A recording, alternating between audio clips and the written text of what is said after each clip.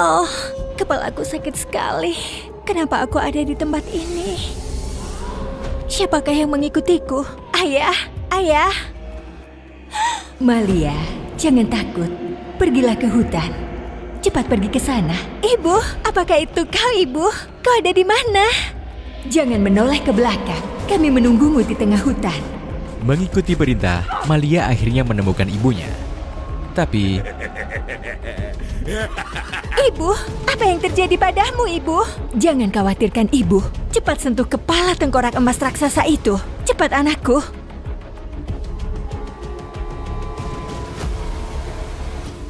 Malia? Malia?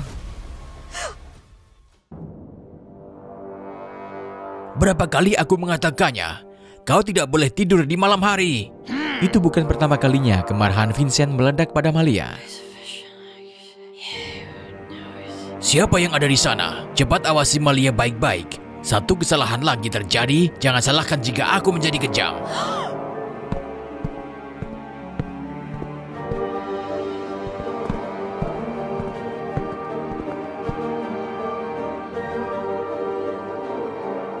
Sungguh kasihan sekali Nona Malia. Sejak Nyonya menghilang, Sejak ibu Malia menghilang, Tuan Vincent menjadi semakin tegas dan kejam.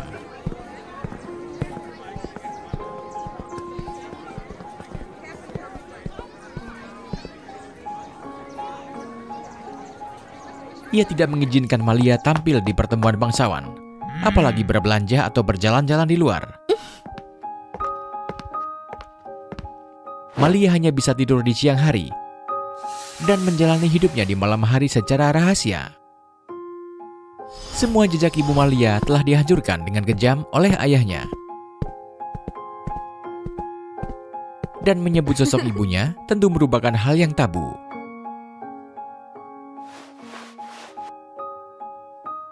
Sepertinya kau sudah bosan hidup, bukan? Ayah, apa sebenarnya kesalahan yang ibu dan aku lakukan? Apakah kau sudah melupakan mereka yang berani menentangku sebelumnya? Bulan lalu, seseorang diam-diam membantu Malia keluar. Hasilnya adalah hukuman bahkan sebelum dia keluar dari gerbang. Vincent tanpa rasa simpati memerintahkan para pelayan untuk menanganinya dengan hukuman kejam.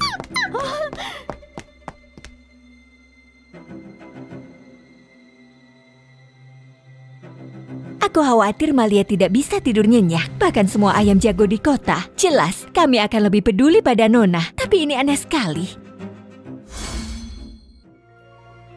Ayah, ini kesalahanku. Tolong jangan hukum pelayan kita.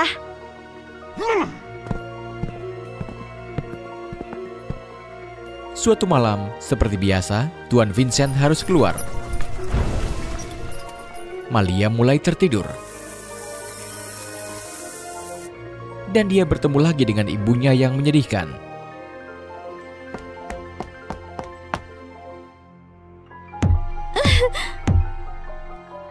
Tidak ada gunanya. Aku tidak bisa membawamu ke dalam mimpi seperti dulu. Karena ayahmu telah mencari mantra penyihir. Dia bukan lagi manusia. Apa yang bisa kulakukan untuk menyelamatkan ibu? Malia, pergilah ke hutan iblis. Tempat kepala tengkorak emas. Untuk langsung menyelamatkan ibu seperti tadi malam. Ayo cepat. Tapi...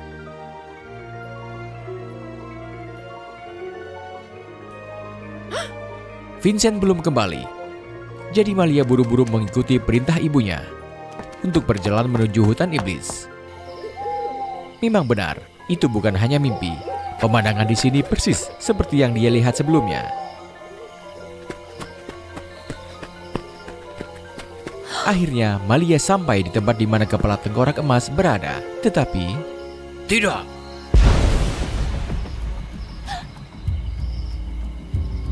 Ayah, apa yang ayah lakukan? serangan ragu-ragu Vincent mengubah hutan dalam sekejap mata.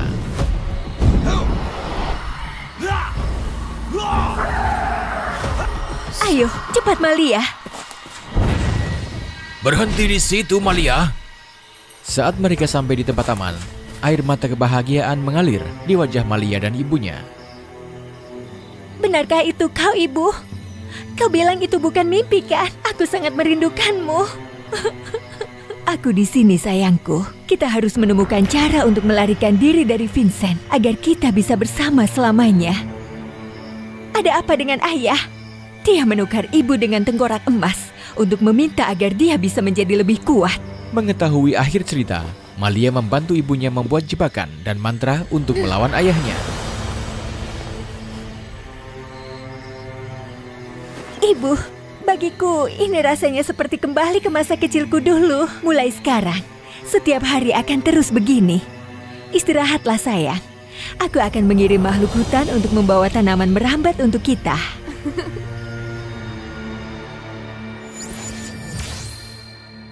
Waktu habis, ayah Malia baru saja tiba tepat waktu untuk mengejar mereka.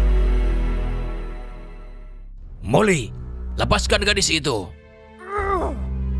Kaulah yang justru ingin menyakitinya. Ini sudah berakhir. Apa ini Malia? Ibu, relakanlah segalanya dan pergilah ibu ke alam fana. Apa yang kau katakan? Apakah sekarang kau sudah tahu?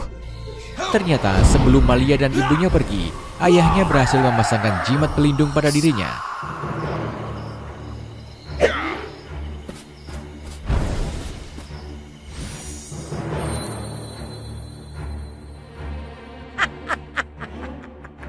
Berkat jimat ini, Malia tidak terpengaruh oleh tidur yang disebabkan oleh sihir.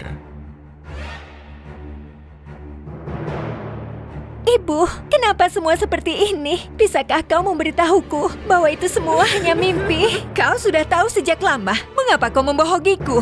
Aku hanya ingin bersama ibu. Entah itu ilusi atau ibu bohong padaku. Tidak masalah. Ibu, kumohon ibu mau melaluinya. Melaluinya? Seharusnya kau yang melakukannya, gadis kecil. Manakah yang benar? Malia tiba-tiba teringat sesuatu yang menakutkan. Ibu Malia dalam mengejar kecantikan abadi berani mencari lembah kepala tengkorak emas. Tuan Tengkorak Emas, tolong kabulkan permintaanku. Tahukah kau apa yang harus kau bayarkan untuk ini? Aku setuju. Selama aku bisa tetap cantik untuk selamanya. Memang, Molly menjadi cantik. Tetapi dia bukan manusia lagi. Sayangnya, setelah kau tetap selalu cantik, kau juga akan seperti aku, terpenjara di tempat ini. Apa? Apakah aku harus tetap terpenjara di sini? Jangan khawatir, ada cara lain yang bisa dilakukan. Biarkan aku pergi. Ibu, selamatkan aku. Untungnya, sebelum tubuh Malia benar-benar hilang, ayahnya muncul tepat waktu.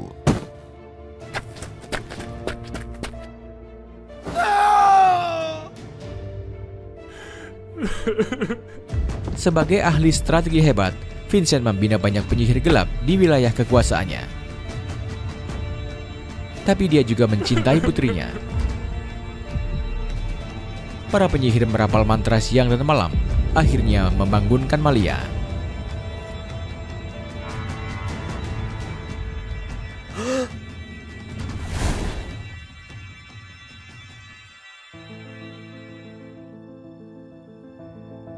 Maafkan aku, tapi Nona Malia sekarang bukan manusia lagi, Tuan Vincent.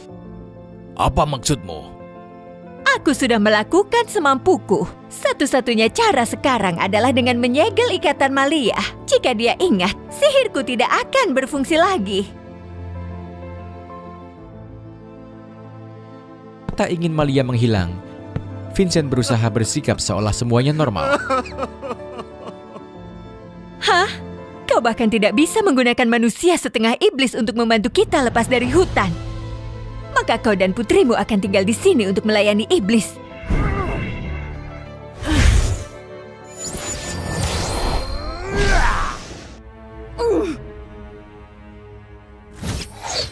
Oh, Molly, kau memang sangat tidak berguna.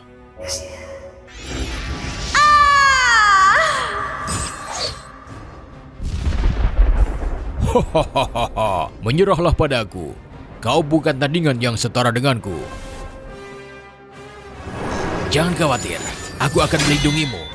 Tunggu saja sampai pagi. Bantuan akan datang. Bertahanlah, Malia. Meski enggan, Malia harus menggunakan jebakan yang dia pasang untuknya. Malia harus menggunakan jebakan yang dia pasang untuk menyerang tengkorak emas dalam tubuh ibunya bersama ayahnya melawan tengkorak iblis. Namun, manusia dan iblis memang tidak bisa sepadan. Berhenti mengejar. Sekarang kau dan keluargamu akan mendapat kehormatan menjadi tumbalku.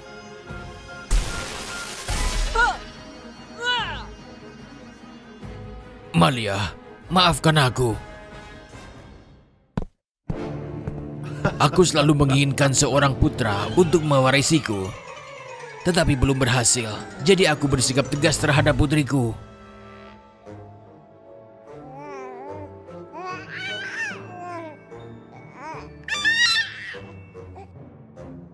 Bodoh sekali.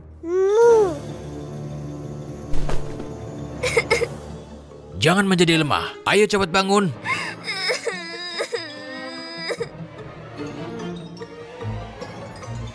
Aku tidak tahan lagi. Mengganggu sekali. Apa yang kau tertawakan? Tidak boleh tertawa. Baiklah, aku akan bermain denganmu sebentar. Jangan terlalu manja gadis kecil. Saat dia tumbuh dewasa, aku bukanlah seorang yang tahu bagaimana menumpahkan emosi. Tapi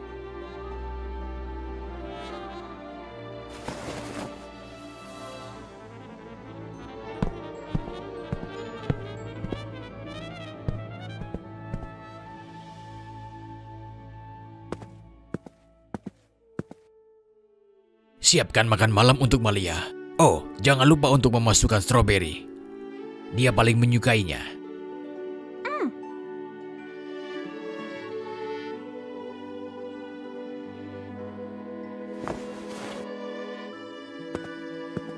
Semua perebutan kekuasaanku, rencanaku, semua untuk melindunginya. Jika suatu hari aku tidak lagi di sini.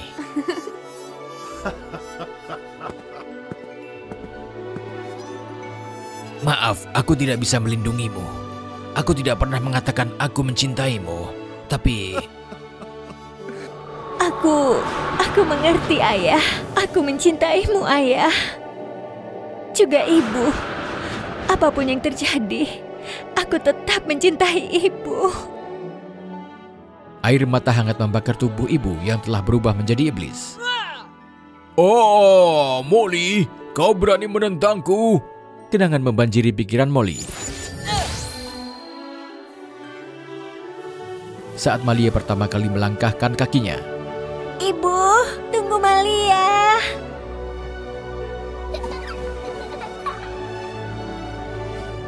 saat mereka sedang asyik bermain,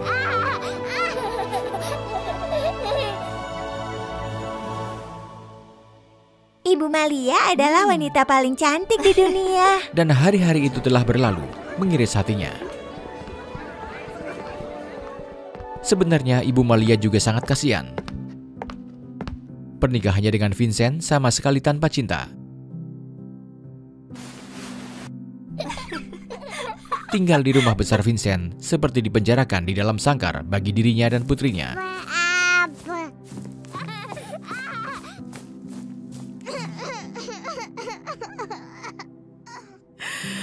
Air mata sang ibu pun jatuh. Dengan alasan terakhirnya, Molly menyelamatkan putrinya.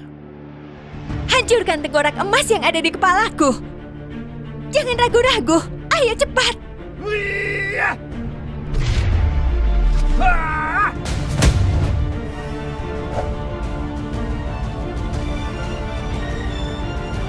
Kepala tengkorak emas hancur.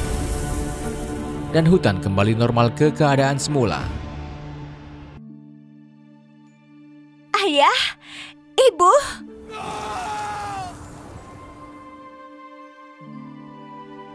Terima kasih semuanya.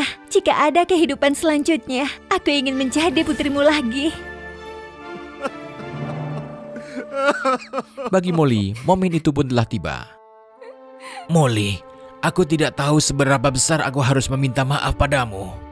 Melihatmu ragu menghancurkan kepala iblis dan menyelamatkan kami, cukup bagiku untuk memaafkanmu.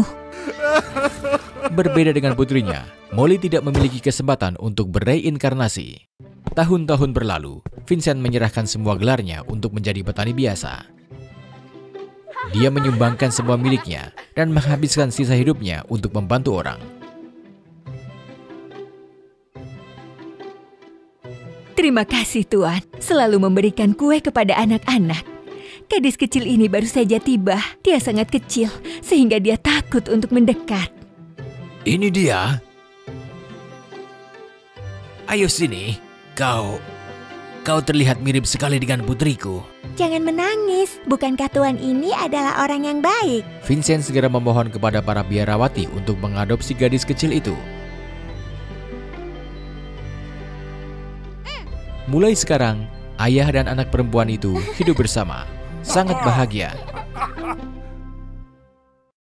Apa jadinya bila suatu saat kau menerima kekuatan yang luar biasa? Tapi itu berubah menjadi kutukan? Menyebabkan kesengsaraan bagimu. Tidak, ini tidak mungkin. Aku ingin terlepas dari kutukan yang mengerikan ini. Kerajaan Laut Aqua memiliki keajaiban, yaitu saat Putri Duyung berusia 18 tahun, mereka menerima batu permata kekuatan. Lihat di sana, permata itu bisa membuat rumput laut menari.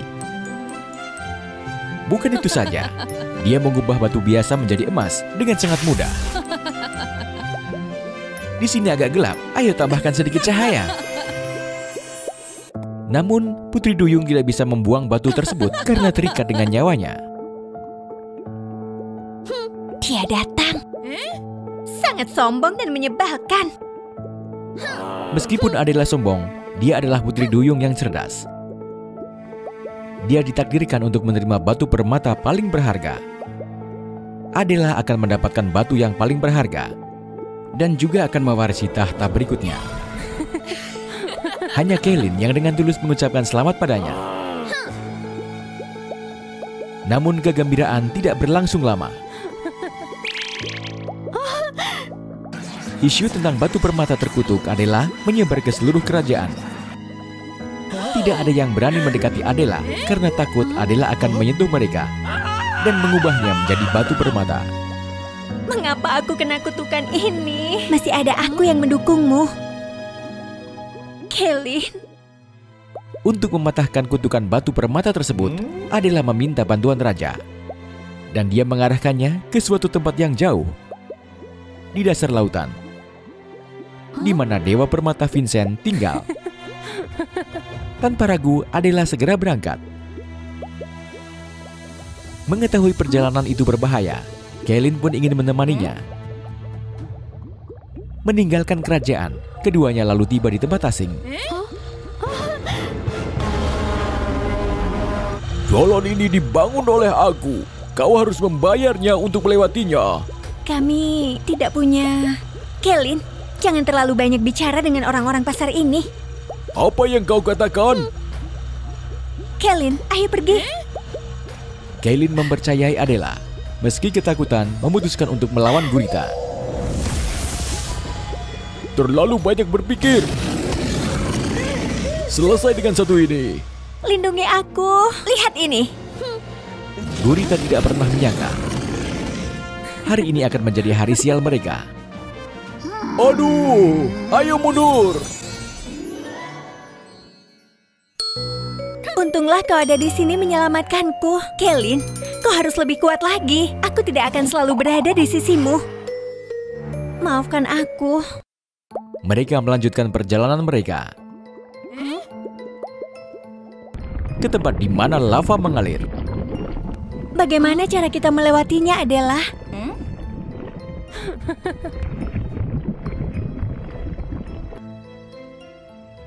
Kau tetaplah berada di belakangku.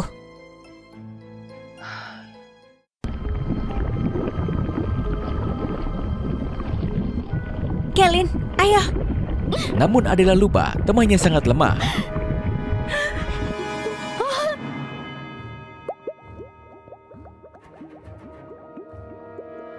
Aku, aku... Tidak usah minta maaf lagi. Jika kau melangkah lebih jauh, kau akan terbakar. Tetap di sini untuk sembuhkan diri. Jangan tinggalkan aku. Kalau begitu, kau harus kembali. Tidak perlu menunggu.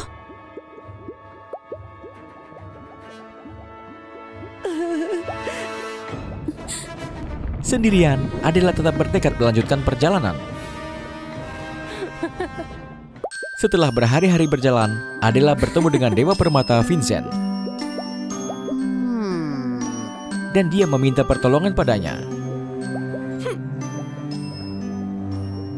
Mungkin saja ini karena sebenarnya kau tidak cukup kuat. Jika aku bisa mengalahkanmu, kau harus bersedia untuk membantuku. Baiklah. Harga diri Adela berkobar. Ia tidak membiarkan dirinya kalah. Dia berlatih keras untuk mengalahkan Dewa Vincent, sekaligus menghilangkan kutukan untuk menguasai dirinya sendiri. Karena terlalu asyik latihan, Adela melewatkan makan dan tidur. Kau? Kenapa kau tidak berubah menjadi batu? Karena aku adalah Dewa Permata. Mungkin karena pusing atau sudah lama tidak berbincang-bincang, Adela mencurahkan isi hatinya. Aku tidak akan kalah dari dirimu. Aku tahu kau sudah bekerja keras. Kemungkinan besar kau akan menang. Tapi kalau tanpa istirahat, kau pasti akan kalah. Aku hanya ingin menguasai batu permata untuk melindungi kerajaan. Vincent mengagumi Adela. Tapi dia tidak bisa membantu lebih jauh. Kecuali untuk menguji semua kemampuan Adela. Berkat kecerdasan, usaha, dan tekadnya untuk mematahkan kutukan tersebut, Adela mengalahkan Dewa Vincent. Akhirnya kau menang. Jadi, apakah kau bersedia membantuku mematahkan kutukan itu? Maaf, aku tidak dapat lagi membantumu. Ternyata Dewa Vincent secara diam-diam telah mengamati kemampuannya. Awalnya, Dewa Vincent menganggap Adela sekuat itu. Hingga Dewa Vincent menyiapkan banyak tantangan. Tanpa disadari, itu bukanlah kunci untuk mematahkan kutukan. Jadi, aku tidak bisa mematahkan kutukan itu. Adela datang dengan penuh harapan, namun kini sudah padam. Dia benar-benar putus asa. Adela, kau tidak pantas mendapatkan batu permata paling berharga. Kelin, bagaimana kau bisa sampai di sini? Aku tidak selemah itu untuk membiarkanmu menggangguku. Apa yang kau katakan? Setelah Adela pergi, Kellen bertekad untuk tetap tinggal di tempat yang sama, menunggu namun merasa sedih. Mengapa Adela meninggalkanku? Apa karena aku lemah dan hanya menghalanginya? Benar, karena kau ini lemah, kami datang ke sini untuk menangkapmu. Gurita masih menyimpan dendam, sehingga mereka masih menunggu untuk membalas dendam. Tanpa Adela yang harus dilindungi dan tidak ada orang lain yang membantu, Kailin harus kuat. Aku tidak akan lemah lagi. Permata merah menciptakan ilusi, dan para gurita mengira rekan mereka adalah musuh. Jadi mereka saling menyerang.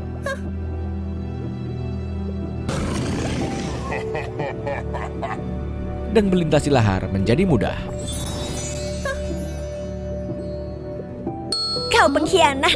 Aku mengabdikan diriku padamu. Tapi kau selalu meremehkanku. Aku... Aku... Aku lupa memberitahumu. Kutukan permata itu diciptakan oleh raja. Dia juga sebenarnya tidak ingin kau menjadi penerusnya. Kenapa kau tidak memberitahuku sebelumnya? Karena aku sebenarnya khawatir kau akan terluka. Mengapa? Orang yang kuhormati, orang yang kucintai, memilih berpaling dariku. Kau tidak pantas menerima persahabatanku. Permata ini harus dikembalikan lagi pada raja. Siapa yang sebenarnya berhak mendapatkan batu permata paling berharga? Adela tidaklah seperti itu. Meski perkataan Adela tajam dan menyakiti hati Kelin, namun rasa sayang yang ia miliki terhadap sahabatnya itu nyata.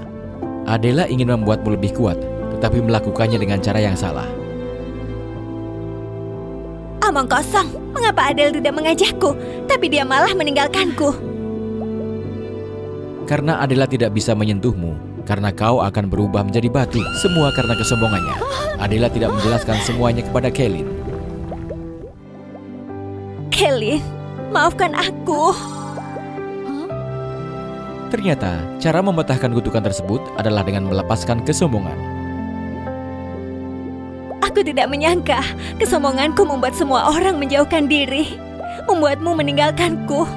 Maaf karena aku telah salah paham pada dirimu. Kailin dan Adela kembali ke kerajaan untuk memperjelas kutukan tersebut. Dan jawaban sang raja mengejutkan Adela. Kau sangat cerdas, tapi sombong. Itu yang membuatku ingin menantangmu. Raja menyerahkan tahta kepada Adela. Namun banyak yang merasa tidak puas.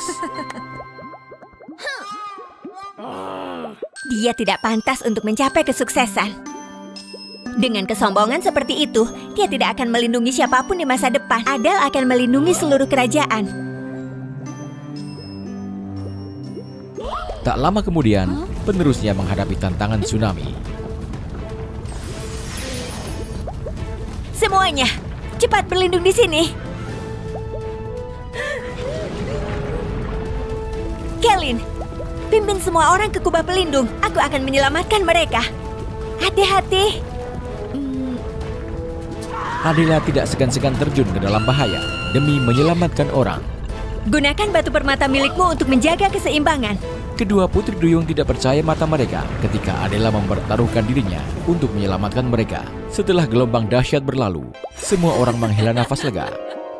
Semua orang berterima kasih kepada Adela karena telah menyelamatkan mereka, termasuk mereka yang sebelumnya punya dendam. Sejak saat itu, Adela dan Kailin menjadi lebih dekat dari sebelumnya. Kailin membantu Adela menjalankan tugasnya. Dan di waktu luang mereka,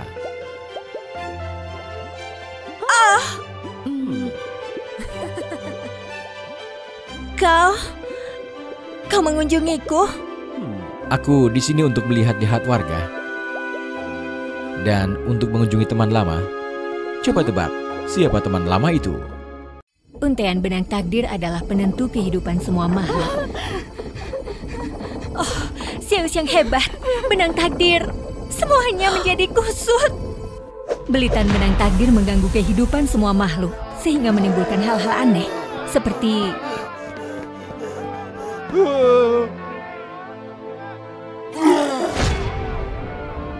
Manusia berubah menjadi monster.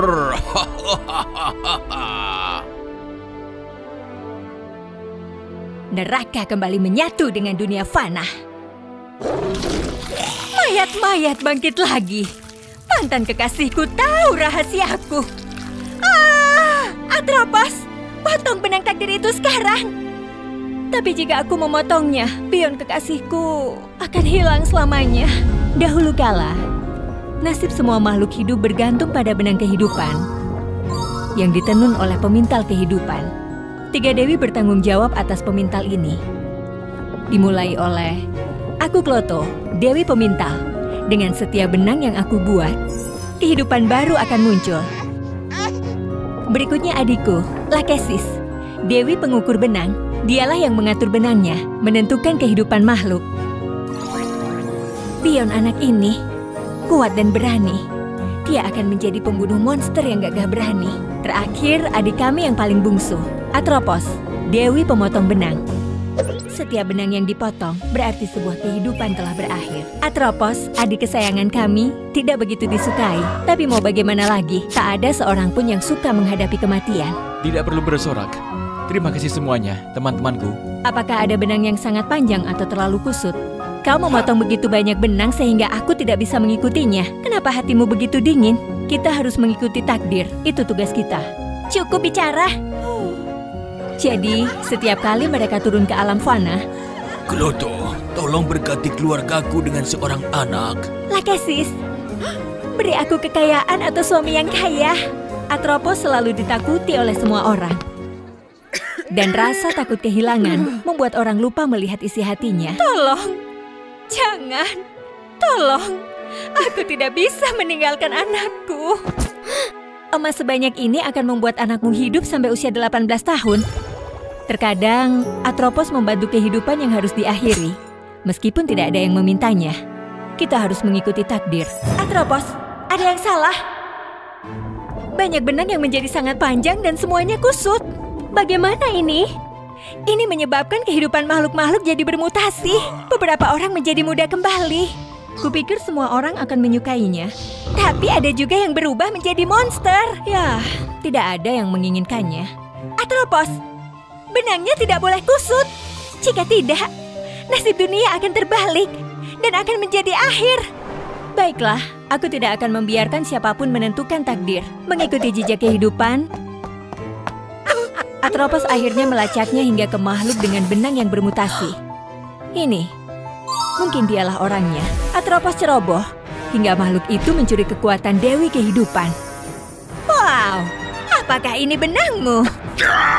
Dan di sini, nasib seluruh dunia berubah. Sungguh makhluk yang jahat. Atropos, Dewiku, apakah kau baik-baik saja? Ah, oh, um, aku baik-baik saja. Biarkan aku turun. Jika kalian tidak ingat, dia adalah Bion, seorang pahlawan pengembara. Dia selalu siap melakukan apa pun untuk membantu orang yang membutuhkan.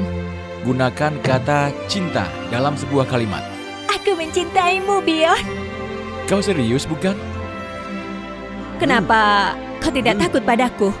Aku tidak takut menemui ajalku. Karena monster mana pun akan jatuh karena kekuatanku. Dan kau sangat baik. Aku melihatmu membantu keluarga miskin itu. Bahkan aku jatuh cinta pada pemuda ini. Tapi Atropos, ya, ini adalah takdir yang kejam. Di mana benang Bion? Mengapa aku tidak melihatnya? Oh, apa ini? Apakah ini benang Bion? Pahlawan muda? Benang itu tersangkut. Mengganggu benang lainnya. Kita harus memotongnya, Atropos. Hmm.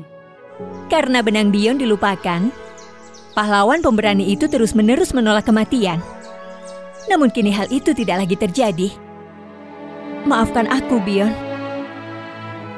Semuanya, lari cepat ke sana. Ah, kenapa kau sekarang baik sekali? Kenapa seorang sebaik dirimu harus... Adikku berani menentang takdir. Dewi Atropos, kau memotong benang monster itu? Manusia fana ini, terima kasih. Ah, menjauhlah dariku. Kau sebenarnya cukup manis. Untuk menghindari perasaannya, Atropos secara ajaib melepaskan beberapa benang kusut. Apakah kau juga memotong benang Bion? Dia tidak tahu, keajaiban itu hanya sementara. Maka sejak saat itu, perjalanan pengembaraan Bion mendapatkan teman baru. Hah? Apa aku akan mengalahkannya? Siapa tahu, apakah kau tidak ingat terakhir kali? Terima kasih. Jangan sentuh aku. Sebaliknya, kesatria pemberani itu melangkah maju untuk melindungi adikku. Jangan mudah marah. Dewi Atropos lah yang mengalahkan monster itu. Dua orang yang seharusnya tidak pernah bersatu, ternyata adalah pasangan yang serasi.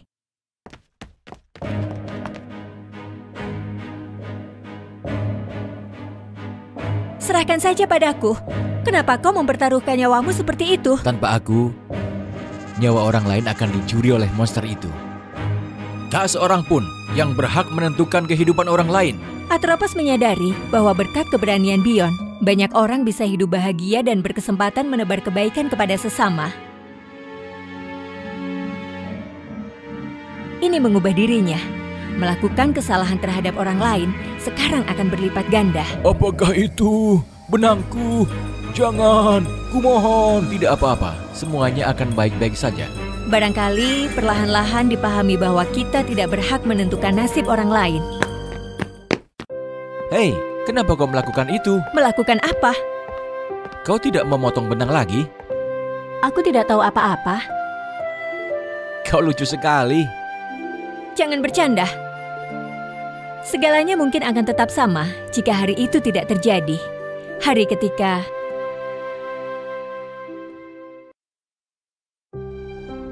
Hah? Bagaimana ini bisa? Kamu motong, aku memotong benangmu. Benang yang mana? Tidak tahu. Di mana anakku? di mana anakku? Astaga. Tanpa peringatan, benang-benang itu menjadi kusut. Menyebabkan nasib semua makhluk saling tumbang tindih. Dan dunia fana menjadi sangat kacau. Pion, kita harus melarikan diri. Tidak, monster-monster itu menyebabkan kekacauan. Aku harus melindungi orang-orang. Kau harus menghentikan ini.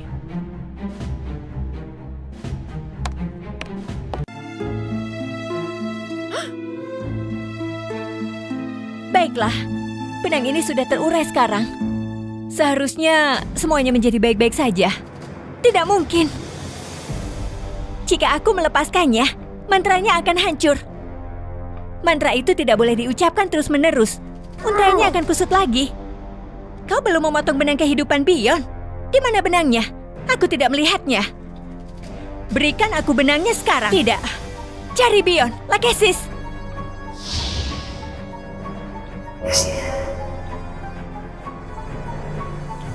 Di mana benangnya? Benang apa? Aku tidak mengerti. Benang itu diam-diam disegel di dalam diri Bion oleh Atropos. Kami tidak bisa memotongnya.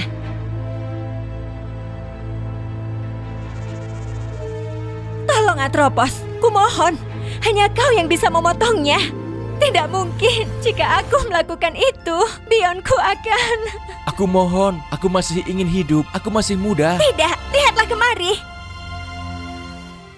Umurmu yang diperpanjang secara tidak sengaja telah mengubah nasib orang lain. Terutama mereka yang telah kau selamatkan. Dan itu juga memperpanjang umur orang-orang itu. Demikianlah hal ini berlanjut tanpa berhenti. Dan menjadi seperti ini. Mengerti? Jadi, apakah dunia fana menjadi kacau karena aku masih hidup? Atropos, tolong, putuskan benang kehidupanku. Tidak. Kau sendiri yang mengatakan bahwa tidak ada seorang pun yang punya hak untuk menentukan kehidupan orang lain. Dan sekarang kau memintaku untuk mengakhiri hidupmu. Atropos! Kau harus memotong benangnya sekarang. Di sinilah akhirnya. Lihat ke bawah dunia fana. Tolong maafkan aku. Aku minta maaf. Itu hanyalah kecerobohan. Ceroboh? Kau menyebut selingkuh itu hanya kecerobohan setelah lima kali berturut-turut. Baiklah, baiklah. Selingkuh itu benar-benar tidak bisa diterima, sayang. Anakku, anakku. Ini ibu sayang. Kenapa kau tidak mengenaliku? Atrapos, astaga. Aku mohon padamu untuk menyelamatkan dunia. Tidak ada cara lain. Kenapa? Kenapa ini sangat tidak adil? Atropos, sang dewi takdir, akhirnya membuat keputusan paling sulit dalam hidupnya. Dia menghancurkan pemintal kehidupan dan mengambil semua benangnya. Dia mengirimkan sihirnya ke benang kehidupan. Hingga benang-benang itu tidak lagi terjerat satu sama lain. Tidak mungkin. Dunia takdir telah kembali normal. Astaga, menjadi pria tampan itu suatu kesalahan. Kita tidak perlu memutar benang kehidupan. Makhluk-makhluk ini tetap ada. Tapi bagaimana denganmu? Aku harus tetap di sini. Jika aku melepaskannya, semua benang kehidupan akan menjadi kusut lagi. Atropos, sang dewi takdir, menyerahkan kekuatan untuk menentukan nasib mereka sendiri kepada dunia. Benang-benang itu sekarang akan memanjang dan lepas dengan sendirinya, dan kehidupan baru akan lahir.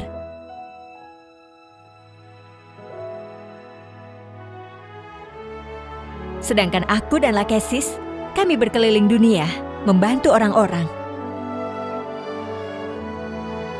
Setiap orang harus memutuskan nasibnya sendiri. Dan Atropos juga telah menemukan tujuan hidupnya sendiri.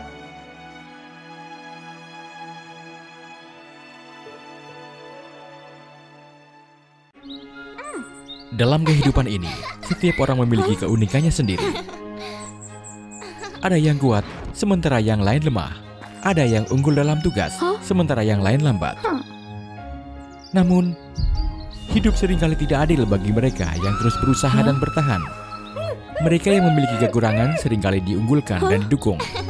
Benar, ketimbangan terlihat jelas dalam keluarga sepasang saudara kembar. Kristal dan Bloom.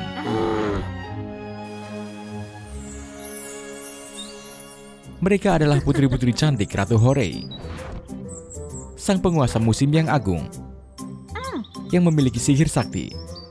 Sang kakak, Kristal, memiliki kepribadian yang kuat dan tegas. Namun mudah marah. Maafkan aku, maafkan aku Putri Kristal. Ah, sayang sekali. Kristal dikenal sebagai putri es musim dingin. Karena dia meninggalkan jejak salju putih ke mana pun dia pergi. Orang-orang dapat merasakan rasa dingin yang memancar darinya. Sebaliknya, adik kembarnya, Bloom. Bahkan namanya saja mencerminkan sifat lembut dan menawan. Namun dia agak canggung. Padahal dia adalah putri musim semi. Aduh, punggungku. Putri, kau baik-baik saja.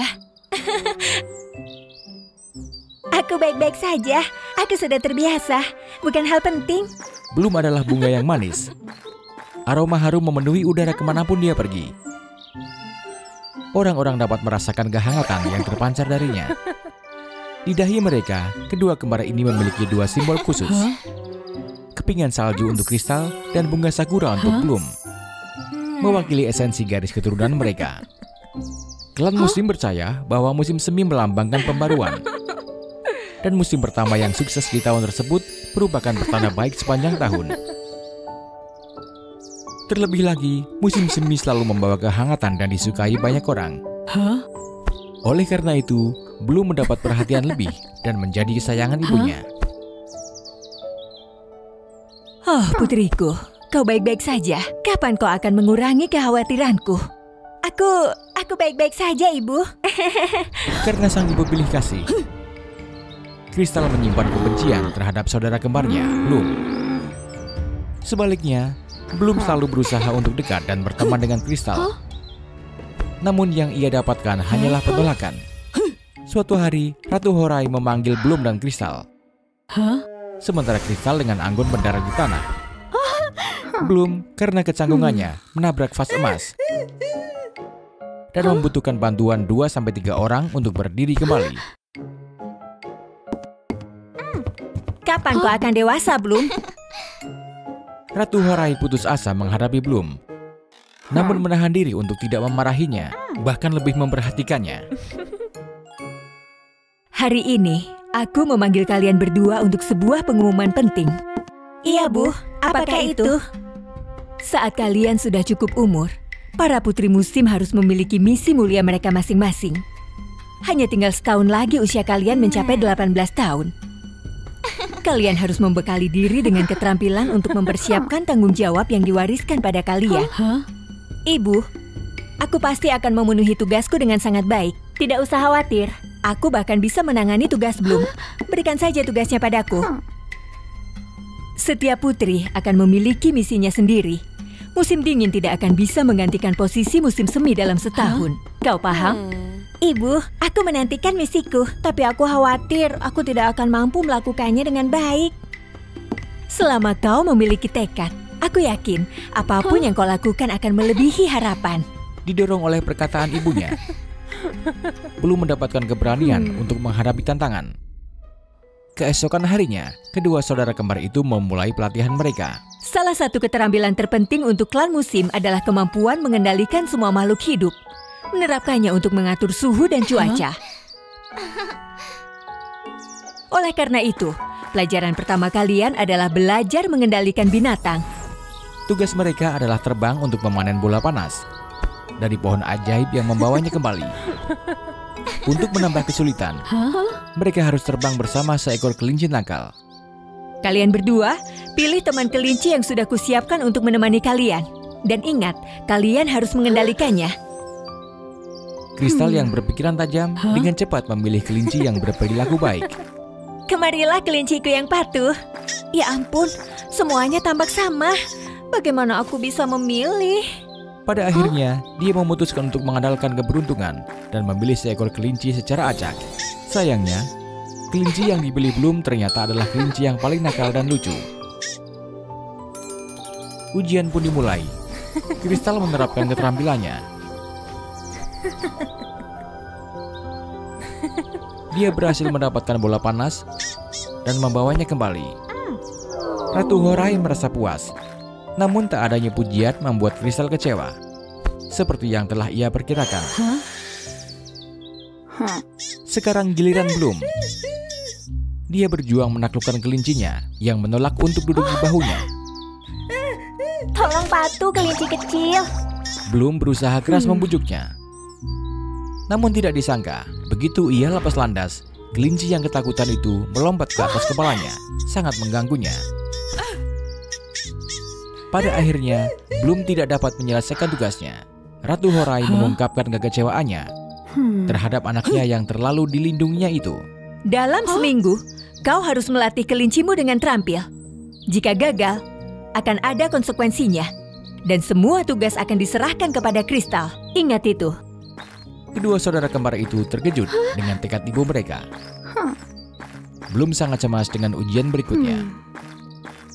Karena ini adalah pertama kalinya dia melihat ibunya kesal padanya. Setelah menenangkan diri, belum tak mau menyerah. Aku tidak akan mengecewakan ibu.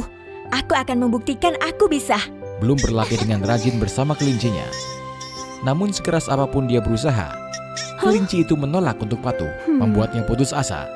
Saat itu, Kristal datang dan menghiburnya. Semuanya akan baik-baik saja, Bloom. Kristal bahkan dengan baik hati memberi makan kelinci Bloom, membuat Bloom percaya bahwa kakaknya tidak lagi membencinya. Keesokan harinya, ujian Bloom berjalan lancar, mengejutkan Ratu Horai dan Bloom sendiri. Di sisi lain, kelinci kristal benar-benar berubah perilakunya, menjadi nakal dan sulit diatur. Aduh, kelinciku diamlah. Berhentilah berbuat nakal. Hal ini menimbulkan kecurigaan di benak Ratu Horai. Sang ratu menggunakan triknya dan mendapati bahwa jiwa kedua kelinci itu tertukar. Bloom, tak kusangka aku selalu melindungimu. Dan hari ini kau menipuku. Aku benar-benar kecewa padamu. Aku, aku benar-benar tidak tahu. Setelah mengingat semua kejadian, belum curiga seseorang telah mempermainkan kelincinya. Dia mencoba mengingat lagi dan menemukan petunjuk. Ini makanan yang Kristal berikan pada kelinciku. Mungkinkah... Menyadari anomali tersebut, belum diam-diam mendatangi kamar kristal untuk menyelidiki penyebabnya. Di sana, dia menemukan fakta yang mengerikan. Adik kembarku yang bodoh tidak menyangka bahwa aku menukar jiwa kedua kelinci itu menggunakan makanan yang sudah kusiapkan selama berhari-hari. Terima kasih padamu buku mantra ajaib misterius kesayanganku. Selamat putri, karena keinginanmu telah terkabul. Sekarang, serahkan kekuatan hidupmu padaku. Belum sangat terkejut. Saat dia hendak berlari mencari ibunya, Kristal melihatnya. Dicecar oleh adik perempuannya yang lemah, Kristal tidak menunjukkan rasa takut. Kenapa kau melakukan itu? Kita bersaudara. Seharusnya kita saling berbuat baik. Saudara yang baik, kau yang selalu dilindungi tidak akan pernah bisa mengerti. Tidak peduli seberapa baik aku melakukannya, tak akan ada yang peduli. Jika bukan karena kau, mungkin ibu selalu menyayangiku. Melihatmu menempuh jalan yang salah, hatiku benar-benar hancur. Tolong, akuilah pada ibu. Dan kita semua akan kembali saling menyayangi. Tidak, sekarang ibu lebih menyayangiku, lebih menghargaiku. Kenapa aku harus mengakuinya? Aku tidak bisa membiarkanmu terus melakukan kesalahan. Begitu selesai berbicara, Kristal menerjang Bloom, melancarkan serangan sengit. Karena tidak ada pilihan lain, Bloom pun bertarung melawan kakaknya. Saat kedua kakak beradik itu bertarung, tiba-tiba Dewi Horai muncul dan menghentikan kekacauan itu. Aku benar-benar kecewa padamu, Kristal. Ternyata saat Bloom dan Kristal berdebat, Bloom dengan cerdik mengendalikan kelincinya dan diam-diam mencuri buku mantra sihir gelap kristal, lalu diserahkan kepada ratu. Alasan dia mengendalikan kelincinya dengan mudah adalah sebelum bertemu kristal, Bloom telah memberi makan kelincinya sisa makanan. Sekarang semuanya terungkap. Dan kristal kehilangan kendali saat menukar kekuatan hidupnya. Dia mulai tidak masuk akal.